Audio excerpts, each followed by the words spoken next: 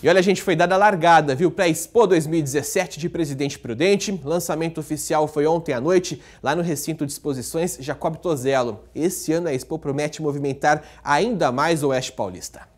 No ano do centenário de Presidente Prudente, a tradicional exposição agropecuária recebeu o nome em homenagem à data. Está valorizando os 100 anos de Presidente Prudente e está vendo com bastante novidade aí, tanto na grade de show, na parte de estrutura, na parte do, no geral da festa. Esse ano veio para marcar, pra de, uh, marcado no calendário dos 100 anos de Presidente Prudente. É bom para a cidade, bom para a região, bom para a nossa gente.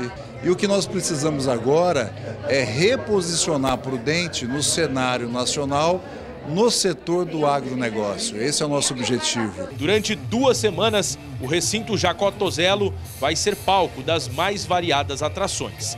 Das típicas barracas da praça de alimentação, passando pelas baias onde ficam os animais, nos estandes da indústria e serviços, do rodeio aos shows. Além, é claro, dos leilões que movimentam a economia para criadores. O agronegócio é o que vem puxando o Brasil, tentando ajudar o Brasil a sair da crise, né?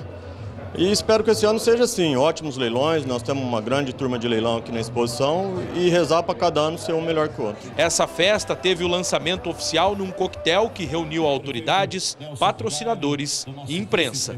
Contagem regressiva agora para 1 de setembro, quando começa o evento. Na grade de shows estão Simone Simária, Gustavo Lima, Zé Neto e Cristiano, Jorge e Matheus. E lembrando a população, para entrar no recinto é gratuitamente, só é cobrado nos dias do show e além disso vai ter quatro dias de entrada franca com show, certo? Mesmo tem dia que o show vai ser cobrado e tem dia que é de entrada franca para a população. Só showzaço, viu? Reforçando, então, Expo Prudente começa no dia 1 de setembro e segue até o dia do aniversário da cidade, 14 de setembro.